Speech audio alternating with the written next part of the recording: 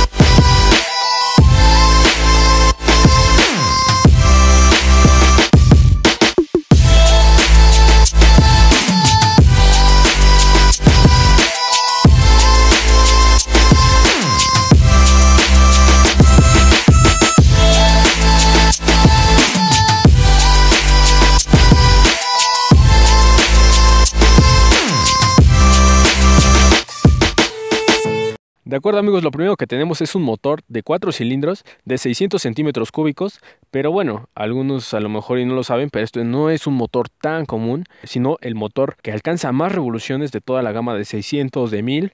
Este es el motor que alcanza más revoluciones. Es un DOHC o doble árbol de levas, también tiene 4 válvulas por cilindro y esas válvulas son de titanio. Tiene 130 caballos de fuerza a 14.500 revoluciones por minuto y 65.7 newtons metro a 11.500 revoluciones por minuto. También es un motor con mucha, mucha tecnología. Para empezar, tiene también 8 inyectores. Estamos hablando de uno de los motores más avanzados de todas las 600.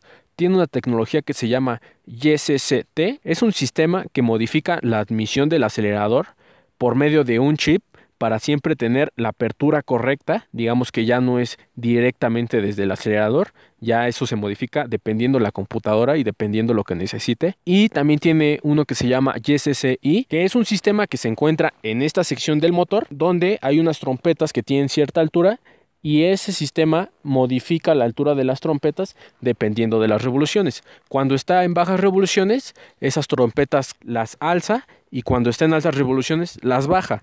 Esto para siempre tener el óptimo rendimiento de aire que necesita el motor y sobre todo a ese rango de revoluciones. Tiene 6 velocidades y un clutch antirrebote. Si tú haces un cambio muy brusco hacia abajo, no se te va a patinar la llanta trasera. En esta parte del motor, amigos, justo antes del escape y después del catalizador, tenemos una válvula que se cierra y abre dependiendo de las revoluciones del motor. Esto para no perder potencia en bajas se llama válvula ETSUB. Esta válvula lo que hace es que te da mejor compresión y evita que pierdas fuerza en bajas, que es muy común en este tipo de motores de altas revoluciones. En la parte delantera tenemos una suspensión invertida de 41 milímetros de la marca Callaba esta suspensión es totalmente ajustable, tensión, compresión y precarga, donde tenemos un caliper monoblock de cuatro pistones anclado con anclajes radiales con doble disco de 310 milímetros flotantes. Cabe mencionar que la bomba de freno delantera es de la marca Brembo. Recuerden que Brembo es de lo mejor en frenos. Y en la parte delantera tenemos una llanta de 120 70 17, que es la medida de todas las motos deportivas, sean 1000 o sean 600, y bueno, en este caso tenemos unas llantas Bridgestone Batlat 016 que son muy buenas. Yo siempre recomiendo la marca Bridgestone. En la parte trasera tenemos un disco de 220 milímetros con un caliper de la marca Nissin. Otra vez volvemos a ver un caliper de la marca Nissin. Ya lo hemos visto en todas las 600 y en la gran mayoría de las motos de alta cilindrada tienen un caliper Nissin, al igual que la bomba. Y una llanta 180 55 17 en marca Bridgestone Batlat 016. Son triple compuesto. Tenemos un chasis de aluminio tipo Delta Bots. Todas las Yamahas de carreras tienen un chasis tipo Delta Bots. También tenemos un monoshock completamente ajustable en tensión, compresión y precarga. Y algo muy especial que tenemos en este R6 y en casi toda la gama R de Yamaha que es este basculante de tipo ala de gaviota, completamente de aluminio, es muy ligero. En las luces, cuando nosotros abrimos el switch, solamente se prende el cuarto y hasta que no prendemos la motocicleta, no se prenden las luces. Esas serían las bajas, estas serían las altas. Aquí tenemos una luz de paso, un gatillo con luz de paso. Estas serían las direccionales, izquierda, derecha, y las intermitentes, que no todos los modelos de R6 tienen intermitentes. De acuerdo amigos, aquí tenemos una llave roja que nos está indicando con un LED que está activado el inmovilizador que sobresale en esta sección. No todas las R6 tienen este cuadrito que es precisamente el inmovilizador. Y bueno, si nosotros no tenemos la llave indicada, no va a funcionar nuestra motocicleta aunque el switch esté en on. Ya en el tablero tenemos un tacómetro análogo que llega hasta las 16.500 revoluciones. Es demasiado. Ninguna otra moto llega a tantas revoluciones. De este lado tenemos la velocidad en kilómetros por hora, la hora. De este lado tenemos el odómetro y los grados centígrados del motor. Ahora, vamos a ver cómo se escucha.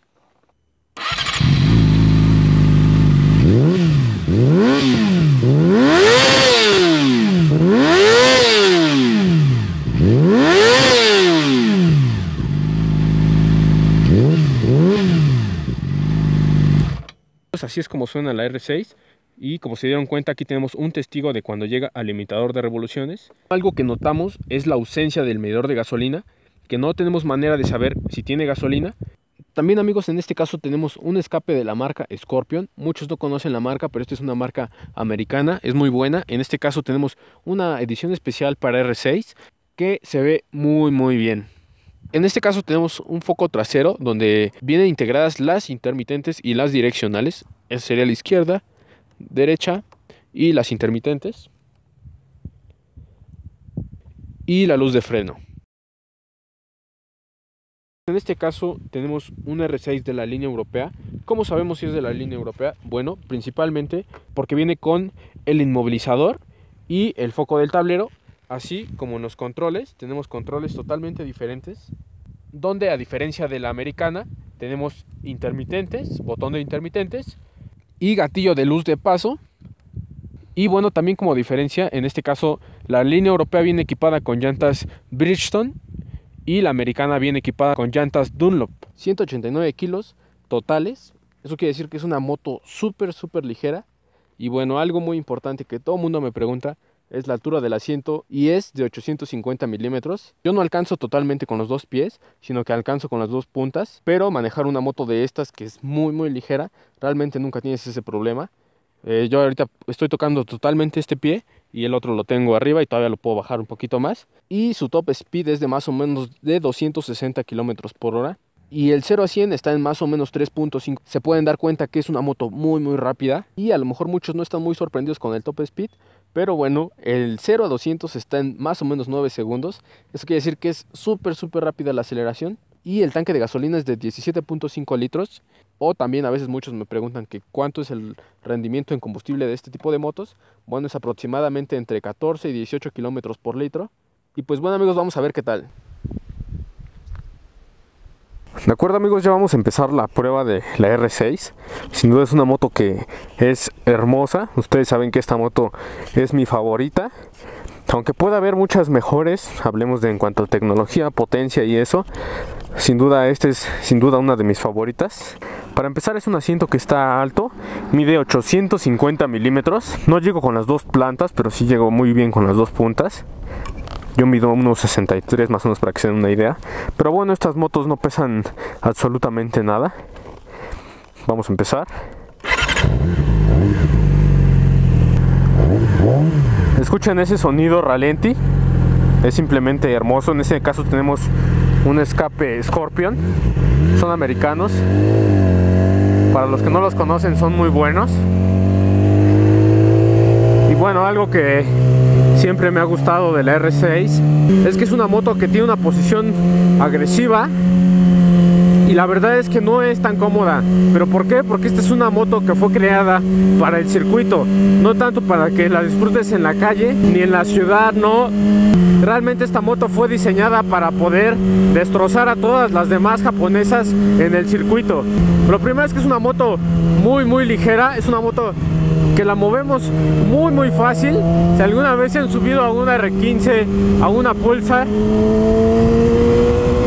a pesar de que son motos muy diferentes, bueno, más o menos necesitas como un 10% más de esfuerzo para mover esta belleza. Quiero que vean cómo es una moto que está tan equilibrada, pero tan equilibrada, que sin ningún problema podríamos hacer esto y la moto se va a ir derechita. Y aún así la podríamos controlar muy fácilmente. Ahora vamos a ver más o menos cuánto llega en primera. Yo tengo calculado más o menos unos 120, 130, pero pues vamos a ver.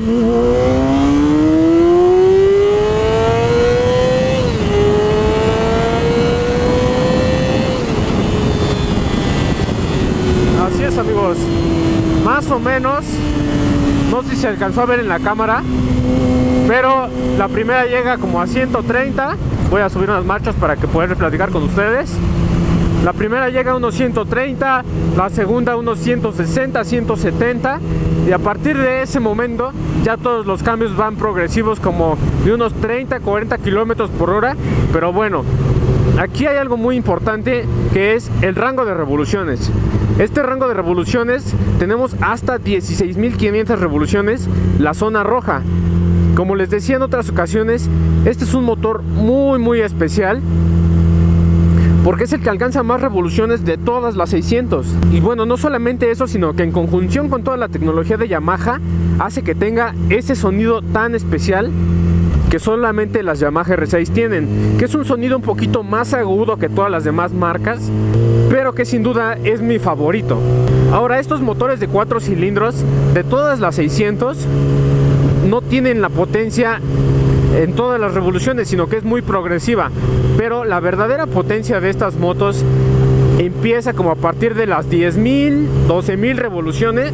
Es donde empieza la verdadera potencia. Abajo de 8.000 revoluciones son motos que no sientes una potencia tan explosiva como en el caso de una MT-09 o en el caso de una FZ-10 sino que en ese rango abajo de las 8000 la potencia por lo menos para mí es muy controlable yo creo que la siento como más como una 300 y ya a partir de las 10000 ahí a partir de las 10000 ya la potencia viene de una manera muy muy buena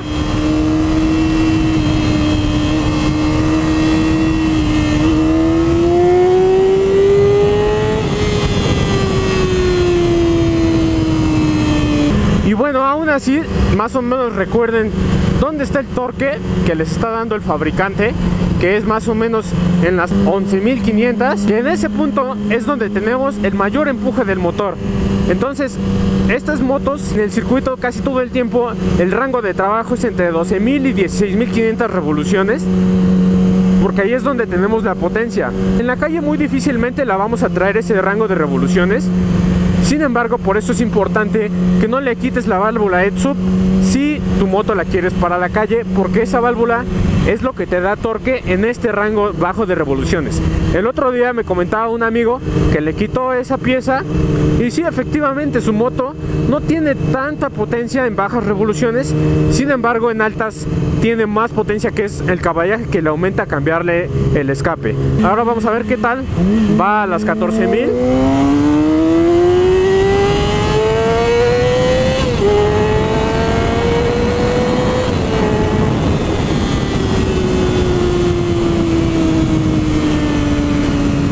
amigos, como pudieron ver, llegando a las 13.500 ya el motor ya avanza así. ¿Por qué? Porque ahí es donde tenemos toda la potencia. También amigos, algo que es hermoso de esta motocicleta es su clutch antirrebote. Que podríamos hacer una reducción un poco brusca. Vamos a hacerla aquí.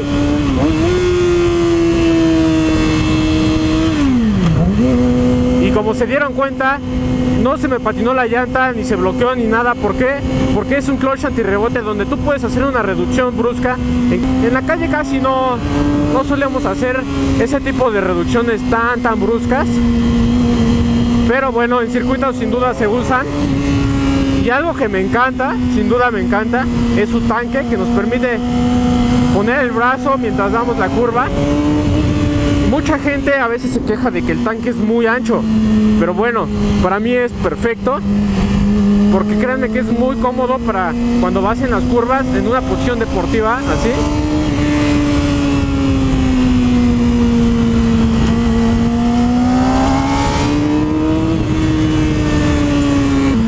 Entonces todo lo de esta motocicleta, la posición de los manillares, la posición del asiento, ya es prácticamente casi perfecto para el circuito. ¿Por qué la posición del asiento? Porque muchos a veces se quejan de que es muy alto. ¿Pero por qué es alto? Bueno, porque cuando tú estás haciendo este tipo de curvas enlazadas, pues tenemos que ir en cunclillas para poder hacer un cambio de dirección muy fácil. No nos cuesta absolutamente nada. ¿Por qué? Porque ya estamos en esa posición. Entonces esta moto ya es perfecta para el circuito. Vamos a pegarle aquí un poco para escuchar ese hermoso sonido.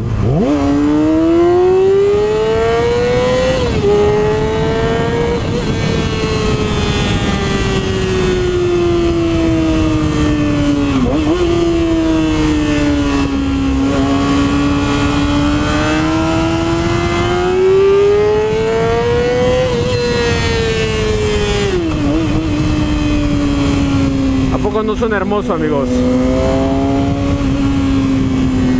Entonces, como les digo, esta moto para mí es mi moto perfecta. Mi moto favorita y mi moto perfecta.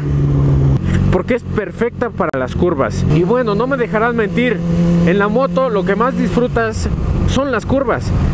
Entonces, por ende, esta al ser una moto perfecta, hecha para hacer curvas, por eso esta es mi moto favorita si tiene ese algo que te transmite esa emoción, que te hace vivir, amigos, vivir.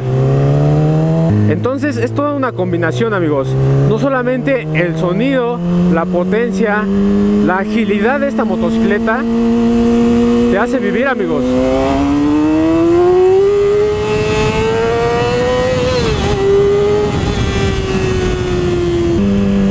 Ahora, es importante decirles que esta moto, al ser totalmente una moto deportiva, no es lo ideal para la calle.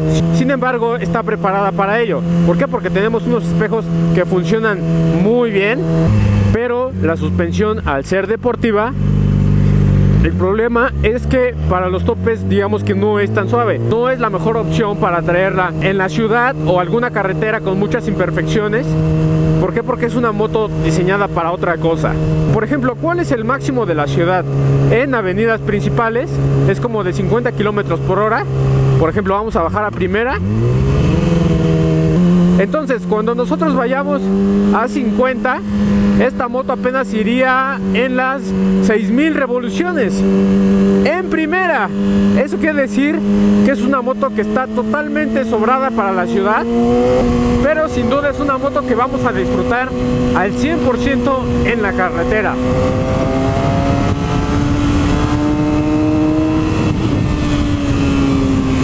También muchos me dicen, oye, ¿esas motos son incómodas después de mucho tiempo? Sí, la respuesta es sí, sí son incómodas, pero por la misma posición deportiva. Si te vas acostumbrando, como ustedes saben, yo manejé una 600 durante dos años. Si te acostumbras, pero nunca deja de ser cansada. También amigos, algo que es muy muy bueno son sus frenos. ¿Por qué? Porque a pesar de que son calipers Yamaha, no, si no tienen ninguna referencia de que si son de otra marca, que si son Brembo, que si son Nissin, no tienen ninguna marca por lo, al parecer grabada.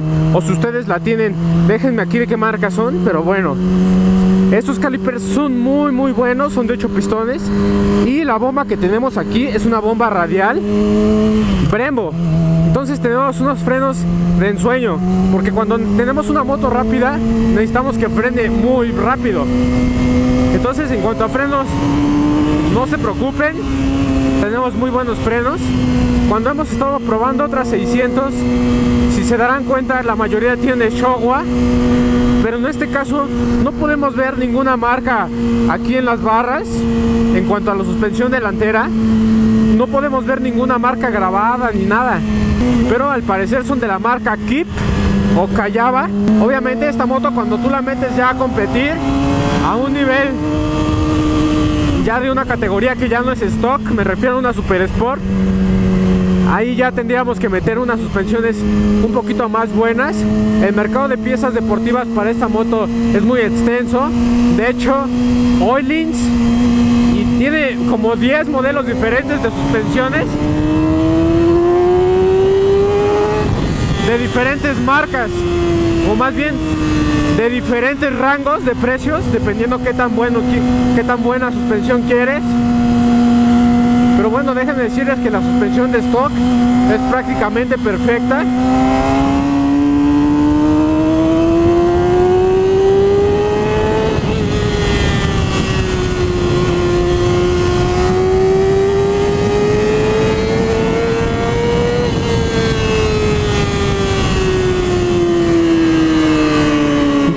Para mí, señores, esta moto es perfecta en todos los sentidos.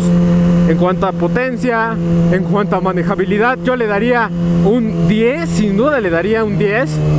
En cuanto a comodidad, le vamos a dar un 7 por ser una Super Sport, pero bueno, ya sabiendo sus capacidades y sus propósitos, es un 7 muy buen merecido, me refiero en cuanto a confort incluso podría llegar a menos, pero bueno, en cuanto a comodidad de, deportivas, créanme que esta es una de las mejores posiciones. No necesitamos tanto esfuerzo para tomar posición deportiva rápidamente y bueno, eso se traduce en más velocidad en circuito y menos cansancio. Pues así es amigos, sin duda es una moto que es un poquito más alta de lo normal. Sin embargo, pues bueno, yo no soy tan alto y no tengo ningún problema. Mucha gente a veces se asusta pensando que estas motos son muy altas o que no pueden manejarlas o algo así. Pero no, realmente cuando ya estás arriba de la moto eso ya no importa. Eso ya es un tema más como de maña.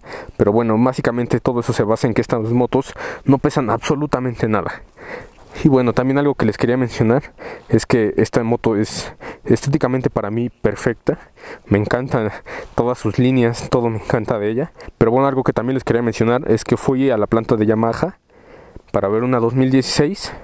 Y bueno, algo que está muy diferente a esta que es 2015. Por ejemplo, la 2016 ya no trae este botón de intermitentes, ni este botón que es el de la luz de paso, ni el inmovilizador que es este cuadro que les menciono. El, eh, la 2016 solamente trae el puro cilindro y no tiene este cuadro. Este cuadro lo que hace es leer el código de la llave que evita que se prenda en caso de que puedan eh, romper el switch. Bueno, si no tienes la llave correcta con el código correcto no va a encender la motocicleta. Y bueno, esta de agencia viene con llantas Bridgestone. La 2016 viene con llantas Dunlop. Que bueno, a mí en lo personal, ustedes saben que de mis marcas favoritas es Bridgestone. ¿Por qué? Porque ya la 016 ya viene de doble o triple compuesto. Y la delantera 016 viene de doble compuesto. Y bueno, les voy a estar subiendo algunas fotos y algunos videos de cuando fuimos a la planta Yamaha a descubrir esto. Ya próximamente en unos meses, más o menos por mayo, va a llegar la nueva Yamaha 2017 que viene totalmente diferente. Entonces en este caso tendríamos una de las últimas Yamahas de la generación más hermosa que ha tenido. Para mí esta es la más hermosa. La siguiente, a pesar de que se parece a una M1, a pesar de que tiene el legado de las Yamaha de MotoGP de M1 en cuanto a estética, bueno, esto es sin duda mi favorita. Y bueno, aparte de que la siguiente Yamaha 2017 ya no va a tener este frente hermoso, va a venir con un precio más o menos de 250 mil pesos hasta incluso 280 mil pesos. También les vamos a estar subiendo ahí contenido al respecto.